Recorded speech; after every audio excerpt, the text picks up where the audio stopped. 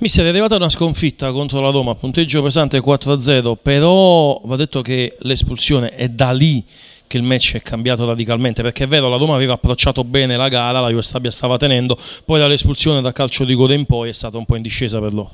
Uh, salve, buonasera a tutti. Uh, sì, dai, diciamo che uh, non, non, stavamo proprio facendo male, loro comunque ci tenevano sempre impegnati, ma anche noi avevamo fatto delle buone trame di gioco, comunque stavamo noi anche lì con Damiano, con Carannante, poi dopo l'espulsione si è complicata un attimino la gara, espulsione del rigore si è complicata un attimino.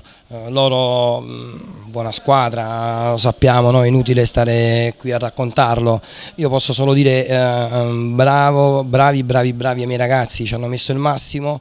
Eh, c'è da lavorare, c'è da recuperare un bel gap con, uh, con Roma e qualche altra squadra, ma uh, sicuramente promettiamo che questo gap sarà recuperato da qua a fine stagione. Io ho avuto l'impressione, mister, all'interno del match, che comunque i tuoi ragazzi sono rimasti sempre in partita, al di là del punteggio poi finale, però non hanno perso la testa, sono rimasti dentro, concentrati. Uh, ci hanno anche provato effettivamente giocare uno in meno contro questi, contro questi ragazzi della Roma. È stato complicato là davanti poter creare qualche azione da gol sì, dai, è inutile, è inutile girarci intorno. Noi in settimana l'avevamo preparata eh, come se mm, una partita normale, eh, non, ci, non, ci, sentivamo e non ci sentiamo ancora oggi inferiori a nessuno e inferiori neanche alla Roma.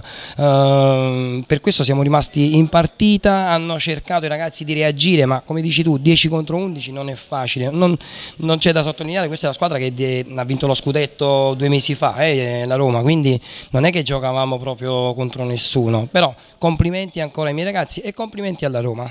Mister, adesso testa al prossimo match. Ah, infatti già l'ho detto nello spogliatoio, ho detto pensiamo già al prossimo match che è Perugia, eh, è inutile abbassare questa testa, eh, avete la coscienza pulita di aver dato tutto in campo e quindi andate a casa, eh, passate questa domenica quasi serenamente e pensiamo già al Perugia.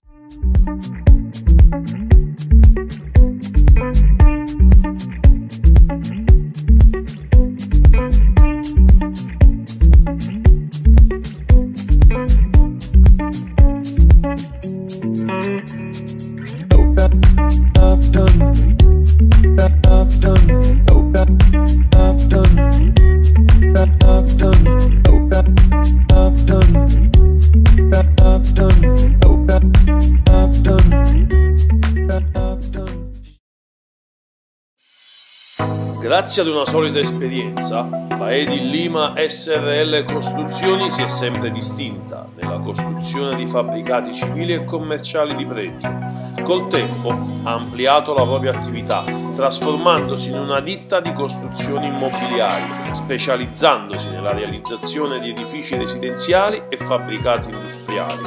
La Edil Lima SRL Costruzioni, acquisendo sempre maggiori competenze, ha conquistato il suo punto di forza diventando leader nel settore, con risultati eccezionali per estetica e qualità, lavori accurati e soprattutto rispetto dei tempi di consegna.